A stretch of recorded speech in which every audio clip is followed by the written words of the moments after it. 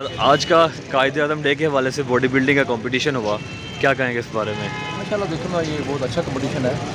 और ज़ाहर शरीर में तो ऊँची नीच होती रहती है। और इनको ये मैं कहता हूँ, बर्दाश्त करने का हौसला भी चाहिए। ज़ाहर ये लोग तो जो कोई कंडीशन होगा, कोई कहता मुझे जाती होगी, मेरे से ये चीज़ होगी, ये चीज़ होगी, इन लोगों को ये चीज़ बर्दाश्त करेंगे, ये आगे कामयाब हो जाएँगे इन शाला और ट्रेन कंटिन्यूसली ये लोग करने, करनी चाहिए लोगों को। आपको पता ये मुश्किल बड़ी होगी ट्रेन और इसके डाइट प्लान ही बड़ा मुश्किल हो गया। और बंदा क्या करे? चलो, जो मिलता है वो तो खाइए ट्रेनिंग कंटिन्यूस करता रहे। तो बंदे को यार, आठ दिन बाद छोटे घर में कीमा पड़ी, पकड़ी जाता ना तो दो बोटियों में सलाद वगैरह खाई जाए बंदा जो मिलता है वही खाई जाए, बस ज़ोर लगाई जाए। बाकी वो ज़ात है, अल्लाह पाक मेहरबानी करने वाली। और अल्लाह पाक इंशाल्लाह मिलने का सिला ज़रूर देता। है इंशाल्लाह।